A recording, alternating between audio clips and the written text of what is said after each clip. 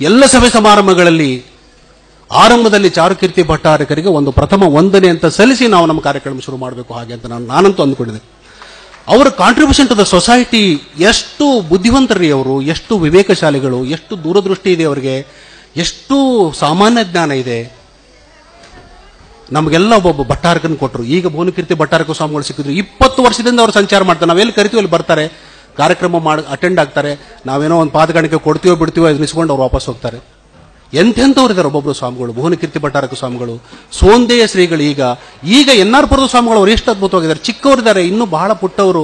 ಎಷ್ಟೊಂದು ಆಸೆಗಳು, ಆಕಾಂಕ್ಷೆಗಳಿರ್ತಾವೆ ಅವನ್ನೆಲ್ಲ ತೊರೆದು ಕಾವ್ಯನ ಧರಿಸಿ ಸಮಾಜದ ಕೆಲಸವನ್ನು ಮಾಡಬೇಕು ಅಂತ ಹೇಳಿ ಅವ್ರು ನಿಂತುಕೊಂಡಿದ್ದಾರೆ ಅರಹಂತಗಿರಿ, ಧವಳಗಿರಿ ಒಬ್ಬರೇ ಇಬ್ಬರೇ ನಾನೇನು ಭುವನಕೀರ್ತಿಯವರು ಕೀರ್ತಿಯವರು ಅಲ್ಲೇ ಪಕ್ಕದಲ್ಲಿ ಕಮ್ಮದಹಳ್ಳಿಯವರು ಅಂತ ಎಲ್ಲ ಸ್ವಾಮಿಗಳನ್ನ ನಮಗವರು ಕೊಟ್ಟವರು ಅಂತ. ನಾನು ಹೇಳಿದೆ, ಸ್ಮೃತಿಗೆ ನಮಗೆ ಪೆಟ್ಟು ಬಿತ್ತು ಅಂತ ಹೇಳಿ.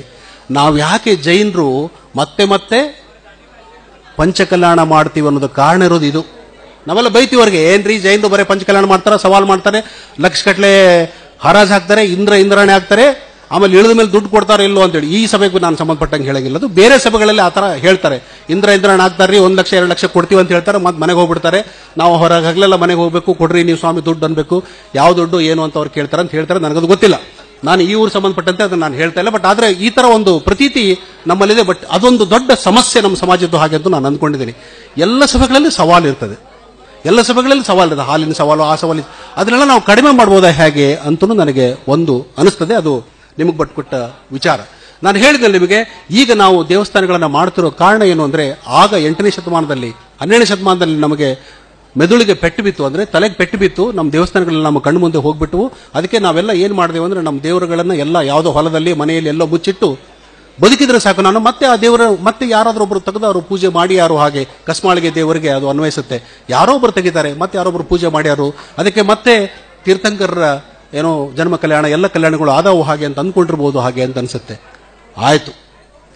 ದೇವಸ್ಥಾನ ಮಾಡೋಣ. ಆದರೆ ಪುರೋಹಿತರು ನಿಮ್ಗೆ ಅಷ್ಟು ಜನ ಇದಾರಾ? ಪುರೋಹಿತರು ನಾವು ತಯಾರು ಮಾಡ್ತಾ ಇದ್ದೀವಾ? ತಯಾರು ಮಾಡಿದ್ರೆ ಅವರಿಗೆ ಸುಖಕರವಾದ ಸಾಕಷ್ಟು ಸಂಬಳವನ್ನು ನಾವು ಕೊಡ್ತಾ ಇದ್ದೀವಾ? ಈ ಸವಾಲನ್ನು ನಾವು ಎದುರಿಸಬೇಕು ಅಂತ ನನಗೆ ಅನಿಸುತ್ತೆ ನಮ್ಮ ಬೀಗರು ಮುಧೋಳದಲ್ಲಿ ದೇವಸ್ಥಾನ ಮಾಡಿದರು. ನಾನು ಹೇಳಿದೆ ಅವರಿಗೆ, ನೀವು ದೇವಸ್ಥಾನ ಮಾಡೋದು ಸುಲಭ ಅಂತ ನನಗನ್ನಿಸ್ತದೆ ಅದರೊಬ್ಬ ಪುರೋಹಿತರನ್ನು ತಂದು ಹಿಡಿದು ಭಾಳ ಕಷ್ಟ ಇದೆ ಅಂತ. ಪುರೋಹಿತರಿಗೆ ನಾವು ಕೊಡೋ ಮೂರು ಸಾವಿರ, ನಾಲ್ಕು ಸಾವಿರ ಸಂಬಳ ಸಾಕಾಗ್ತದೆ ಯಾಕಂತ ನನಗನ್ಸಲ್ಲ. ನನ್ನ ಮಗ ಸಾಫ್ಟ್ವೇರ್ ಇಂಜಿನಿಯರ್ ಆಗಬೇಕು, ಕಾಲೇಜ್ ಲೆಕ್ಚರ್ ಆಗಬೇಕು ಅಂತಂದರೆ ಆ ಪುರೋಹಿತರ ಮಗನೂ ಹಾಗಾಗಬೇಕು ಅಂತ ಬಯಸಬಾರ್ದು ಅಂತ ನೀವು ಯಾಕೆ ಅನ್ಕೋತೀರಿ ನೀವು? ಅಂದ್ರೆ ಅವನ ಮಗ ಪುರೋಹಿತನಾಗಿ ಮುಂದುವರೆಯಲ್ಲ ಅಂತ ನಮ್ಗೆ ಗೊತ್ತಿರಬೇಕು. ನಾವು ಅದನ್ನು ಸಮಾಧಾನ ಮಾಡ್ತಾ ಇದ್ದೀವಿ ಅವ್ರಿಗೆ? ನನ್ನ ಪ್ರಕಾರ ಸಮಾಧಾನ ಮಾಡ್ತಾ ಇಲ್ಲ. ಪುರೋಹಿತರು ತಟ್ಟೆ ತಗೊಂಡು ಬಂದರೆ ನಾವು ಚಿಲ್ಲರ್ ತೆಗಿಬೇಕು ಅಂತ ಚಿಲ್ಲರ್ ತೆಗಿಯಕ್ಕೆ ಹೋಗ್ತೀವಿ ನಾವು. ಈ ಚಿಲ್ಲರ್ ತೆಗೆಯೋ ಕೆಲಸವನ್ನು ಬಿಡಬೇಕು. ಕನಿಷ್ಠ ಐದು ರೂಪಾಯಿಗೂ ಬೆಲೆ ಇಲ್ಲ ಈಗ ನೀವು ಯಾರ ಹತ್ರ ಹೋಗಿ ಕೇಳಿ ಐದು ರೂಪಾಯಿಗೂ ಬೆಲೆ ಇಲ್ಲ ಈಗ. ಎಂಟಾಣೆ ಒಂದು ರೂಪಾಯಿ ಅಂತೂ ಹೊರಟೋಯ್ತು. ಕನಿಷ್ಠ ಹತ್ತು ರೂಪಾಯಿನ ಆರತಿ ತಟ್ಟೆಯಲ್ಲಿ ಹಾಕೋದು ನಾವು ರೂಢಿ ಮಾಡ್ಕೋಬೇಕು. ವಾರದಲ್ಲಿ ಒಂದು ದಿವಸ ಆದರೂ ನಾವು ಹತ್ತು ರೂಪಾಯಿನ ಹಾಕಬೇಕು. ಪ್ರತಿ ದಿವಸ ನೀವು ಎಂಟಾಣೆ ಒಂದು ರೂಪಾಯಿ ಹಾಕೋದು ಬಿಟ್ಟು ವಾರದಲ್ಲಿ ಒಂದು ದಿವಸ ನಾವು ಹತ್ತು ರೂಪಾಯಿನ ಹಾಕಿದ್ರೆ ಆ ಪುರೋಹಿತ ಸಮಾಧಾನವಾಗಿರ್ಬೋದು ಹಾಗೆ ಅಂತ ಅನ್ಸುತ್ತೆ.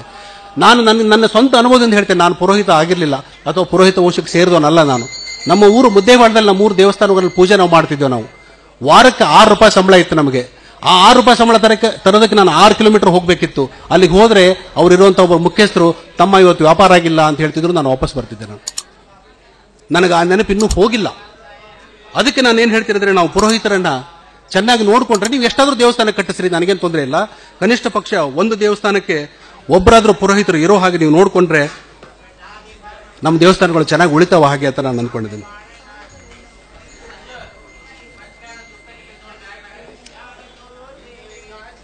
ನಮ್ಮ ಜೈನ ಸಮಾಜದ ಇನ್ನು ಒಂದು ಸಮಸ್ಯೆ ಬಗ್ಗೆ ನಾನೀಗ ಹೇಳಿದೆ. ಇನ್ನೊಂದು ಸಮಸ್ಯೆ ನಮ್ಮಲ್ಲಿರುವ ಒಡಕು ಮತ್ತು ಬಿರುಕು.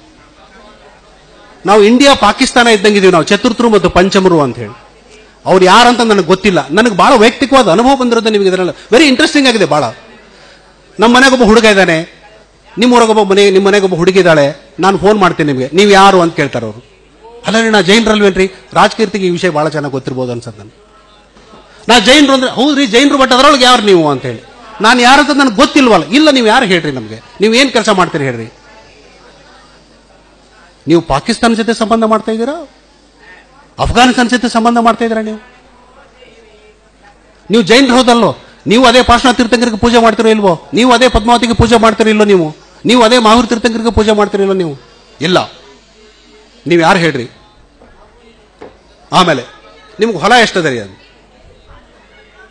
ನನಗೆ ಹೊಲ ಇಲ್ಲ. ಉದಾಹರಣೆ ಹೇಳ್ತೀನಿ ನಿಮ್ಗೆ ಅಷ್ಟೇ? ನನಗೆ ಹೊಲ, ಏ, ಹಂಗಾದ್ರೆ ಬೇಡ ಬಿಡ್ರಿ. ಸೊ ನಿಮ್ಮ ಮಗಳು ಎಲ್ಲಿದ್ದಾಳ? ನಮ್ಮ ಮಗಳು ಬೆಂಗಳೂರಾಗ ಸಾಫ್ಟ್ವೇರ್ ಇಂಜಿನಿಯರ್ ಅದಾಳ ಇಲ್ರಿ, ನನ್ನ ಹತ್ರ ಹೊಲ ಇದೆ, ಹತ್ತು ಹತ್ತು ಎಕರೆ ಹೊಲ ಇದೆ. ನಿಮ್ಮ ಮಗಳು ಬಂದು ನಮ್ಮ ಹೊಲದಲ್ಲಿ ಕೆಲಸ ಮಾಡ್ತಾ ಏ, ಇಲ್ರಿ, ಅದೇ ಮಾಡ್ತಾಳೆ. ಮತ್ತೆ ಹೊಲ ಯಾಕೆ ಬೇಕ್ರಿ? ಏ, ಬೇಕ್ರಿ.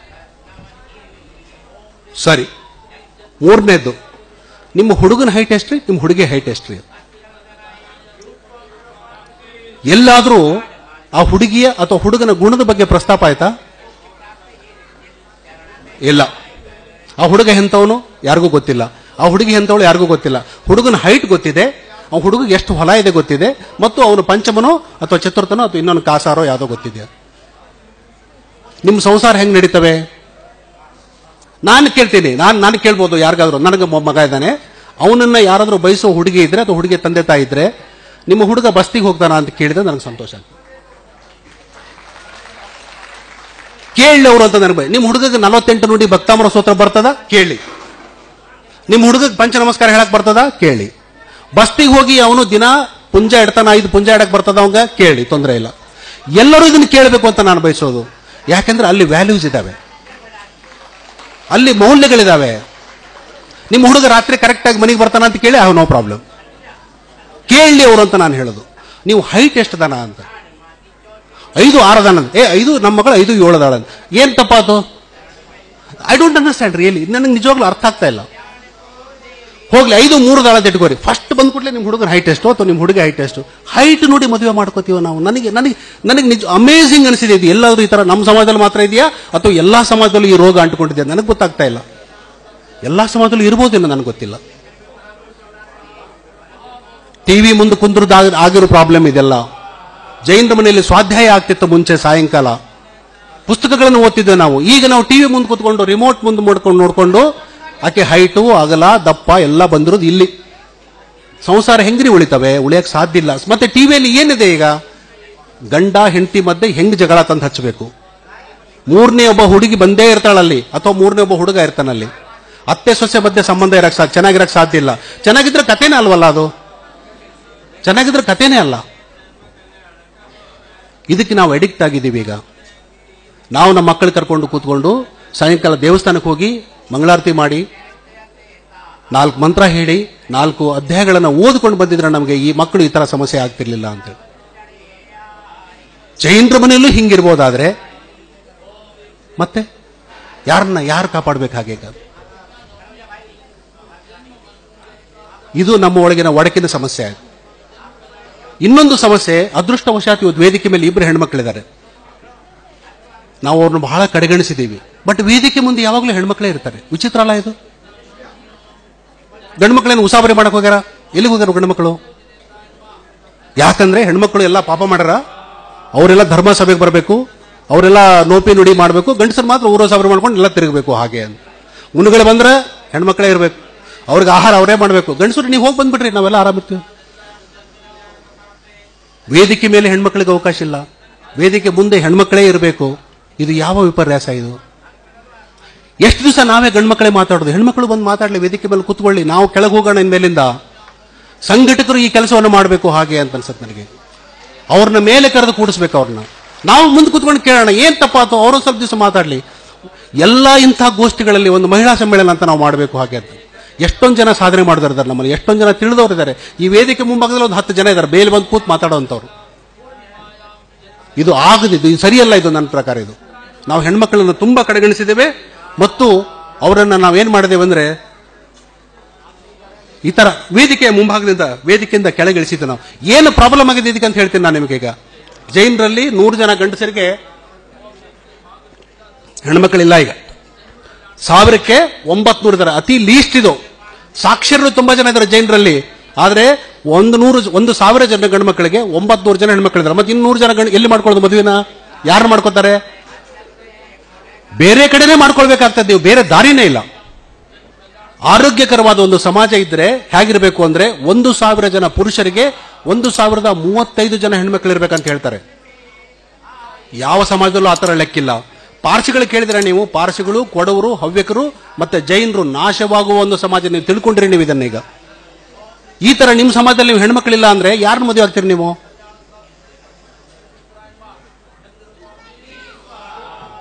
ಬಹಳ ಗಂಭೀರವಾಗಿ ಯೋಚನೆ ಮಾಡಬೇಕಾದ ಸಮಾಜ. ನಮ್ಮ ಸಮಾಜ ಇದನ್ನ, ಸಮಾಜದ ದುರೀಂಡ್ರನ್ನವರು ಬಹಳ ಗಂಭೀರವಾಗಿ ಇದನ್ನು ಯೋಚನೆ ಮಾಡಿ ಆ ಸಂಖ್ಯೆ ಸರಿಗೊಳಿಸುವ ಹಾಗೆ ಮಾಡಬೇಕು. ಯಾಕೆ ಅಂದ್ರೆ ಹೆಣ್ಮಕ್ಳಿಗೆ ಒಂದು ನಮ್ಮ ಪ್ರಾಬ್ಲಮ್ ಅದು. ಮಹಾರಾಜರು ಹೇಳಿದ್ದಾರೆ ಅವ್ರಿಗೆ ಮೋಕ್ಷ ಇಲ್ಲ ಅಂತ ನಾವು ಜೈನರು ಹೇಳಿದೆವು ನಾವು. ಅಲ್ಲಿ ಸಮಸ್ಯೆ ಆಯಿತು ಅಂತ ನನಗನ್ನಿಸುತ್ತೆ ಇದು ಚರ್ಚಾಸ್ಪದವಾದ ವಿಷಯ. ನಾನು ಬೇಕಂತಾನೆ ಈ ವಿಚಾರವನ್ನು ಇಷ್ಟಕ್ಕೆ ಪ್ರಸ್ತಾಪ ಮಾಡಿ ಬಿಟ್ಬಿಡ್ತಾ ಇದ್ದೇನೆ.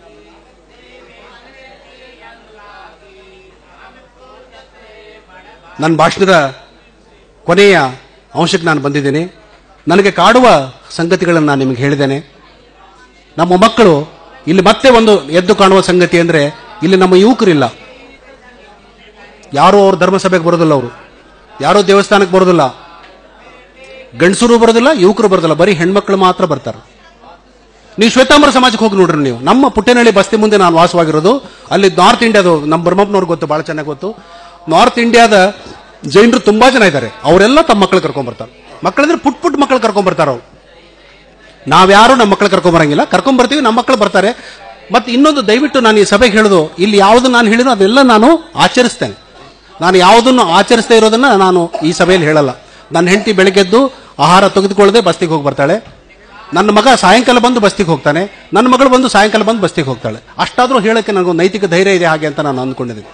ನಮ್ಮ ಮಕ್ಕಳು ಬಸ್ತಿಗೆ ಬರಂಗೆ ನಾವು ಮಾಡಬೇಕು. ಯಾಕೆಂದ್ರೆ ಅಲ್ಲಿ ಮೌಲ್ಯಗಳಿದ್ದಾವೆ.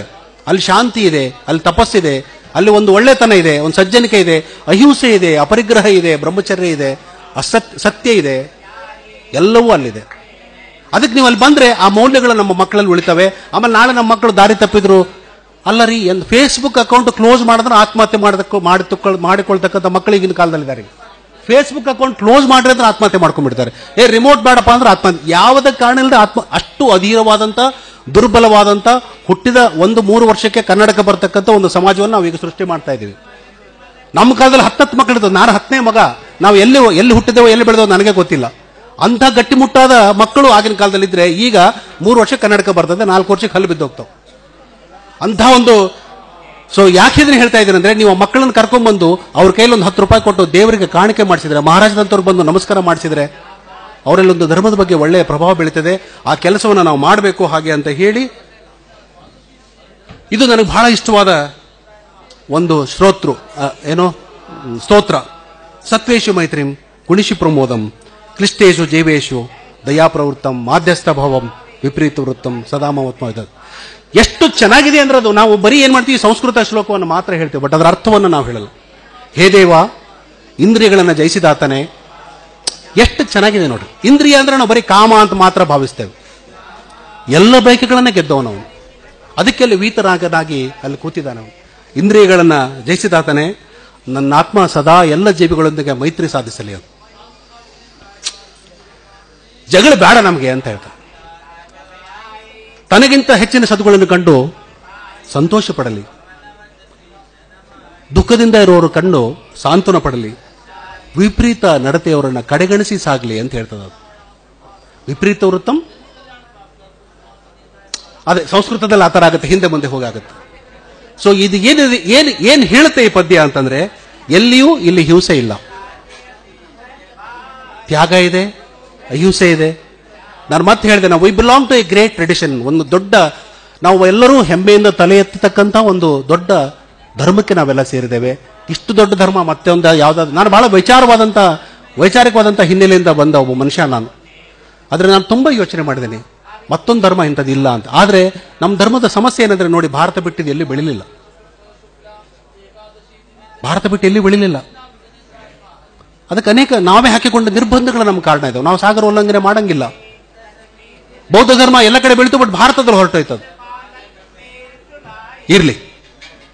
ಈಗ ನಾವು ನಿಮ್ಮ ಸಂಖ್ಯೆಯನ್ನು ಜಾಸ್ತಿ ಮಾಡಿ ಅಂತ ನಾನು ಹೇಳೋ ಸ್ಥಿತಿಯಲ್ಲಿಲ್ಲ. ಇರುವ ಸಂಖ್ಯೆ ಇದೆಯಲ್ಲ, ಅದು ಗುಣವಂತ ಸಮಾಜ ಅದಾಗಬೇಕು.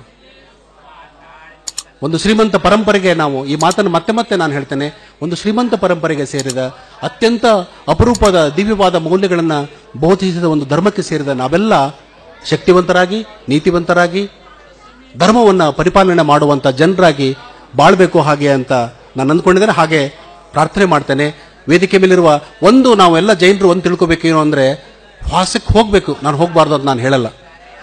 ಸಭೆಯ ನೇತೃತ್ವವನ್ನು ವಹಿಸಿದ ಮುನಿ ಮಹಾರಾಜರು ಅಥವಾ ಭಟ್ಟಾರಕ ಸ್ವಾಮಿಗಳು ಇದ್ದರೆ ಅವರ ಭಾಷಣ ಮುಗಿಯವರೆಗೆ ಎದ್ದು ಹೋಗಬಾರ್ದು. ಅದು ನಾವು ತೋರಿಸಬಹುದಾದ ಕನಿಷ್ಠ ಗೌರವ ಅವರಿಗೆ. ಅವರಲ್ಲಿ ಕೂತಿರುವಾಗ ನಾವೆಲ್ಲ ಎದ್ದು ಹೊರಟೋಗ್ಬಿಟ್ರೆ ನಾವು ಯಾರಿಗೆ ಅವಮಾನ ಮಾಡ್ದಂಗೆ? ಸಭೆಯ ಸಂಘಟಕರ ಸಮಸ್ಯೆಗೂ, ಮುನಿ ಮಹಾರಾಜರಿಗೂ ಏನೂ ಸಂಬಂಧ ಇಲ್ಲ. ಸಭಿಕರಾದವರು ಏನು ನಾವು ಪಾಲಿಸಬೇಕಾದ ಗೌರವ ಏನು ಅಂತಂದ್ರೆ, ಕನಿಷ್ಠ ತೋರಿಸಬೇಕಾದ ಗೌರವ ಏನು ಅಂದ್ರೆ, ಅವ್ರು ಮಾತಾಡೋವರೆಗೆ ಇದ್ದು, ಮಂಗಳಾರತಿ ಇದ್ರೆ ಮಂಗಳಾರತಿ ಮಾಡಿ, ಅವರ ಅನುಮತಿ ಪಡೆದು ಹೋಗುವಂತ ರೂಢಿಯನ್ನು ನಾವು ಬೆಳೆಸ್ಕೋಬೇಕು. ವಾಸ ಸಿಗ್ತದೆ. ಇವತ್ತೊಂದು ದಿವಸ ವಾಸ ಹೋದ್ರೆ ಹೋಗ್ಲಿ ಅಷ್ಟೇ, ಇನ್ನೇನು ಮಾಡೋಕ್ಕಾಗ್ತದೆ? ಕರೆಕ್ಟ್ ಟೈಮ್ಗೆ ಐದು ಗಂಟೆಗೆ ವಾಸ ಮಾಡಬೇಕು, ಒಂದು ಗಂಟೆಗೆ ಊಟ ಮಾಡಬೇಕು ಅಂದ್ರೆ ಹೆಂಗಾಗ್ತದೆ ಆಗೋದಿಲ್ಲ. ನನಗೆ ವೇದಿಕೆ ಮೇಲೆ ಕರೆದು ಪದ್ಮನಾಭನವರು ಮಾತಾಡಕ್ಕೆ ಹೇಳಿದ್ರು. ನಾನು ಹೆಚ್ಚೊತ್ತು ಮಾತಾಡಿದ್ನು, ಕಡಿಮೆ ಮಾತಾಡಿದ್ನು, ಒಳ್ಳೇದನ್ನು ಮಾತಾಡಿದ್ನು, ಕೆಟ್ಟದ್ದು ಮಾತಾಡಿದ್ನು ಗೊತ್ತಿಲ್ಲ. ಯಾರಿಗಾದರೂ ನೋವಾಗಿದ್ರೆ ಒಳ್ಳೇದು, ಅದರಿಂದ ಸಮಾಜಕ್ಕೆ ಒಳ್ಳೇದಾಗಲಿ ಹಾಗೆ. ಮತ್ತು ನಾನು ನಿಮ್ದು ಯಾರ್ದು ಕ್ಷಮೆಯನ್ನು ಕೇಳೋದಿಲ್ಲ ಅಂತ ಹೇಳಿ